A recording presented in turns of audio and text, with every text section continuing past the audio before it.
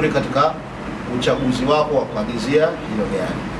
Lakini pia utofauti mwingine mkubwa, unalipa pesa kwa awamu mbili.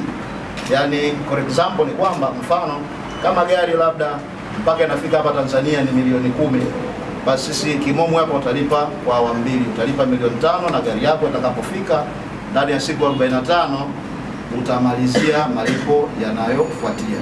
Lakini pia utofauti mwingine na kampuni zingine, unaweza ukaagiza ukawa na advance kwamba una mipango yako uh, labda umetoa milioni tano ukaagizia gari hapa katikati ukakwama, gari tayari imeshafika, hauna mchakato mwingine.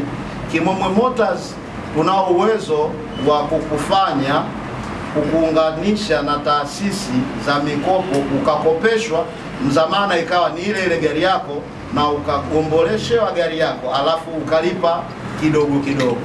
Kwa hiyo tumewaita hapa kuongea mawili matatu, na siku 45 ukifanya kazi na sisi, gari yako itakuwa tayari imeshafika.